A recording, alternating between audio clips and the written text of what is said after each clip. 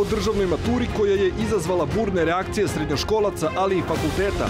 Zašto mladi ne idu u nastavnike? O platama prosvetara, ali i drugim političkim temama. Ove nedelje u emisiji Jasno kao dan, autorka Ivana Mastilović-Jasnić razgovara sa ministrom prosvete Brankom Ružićem.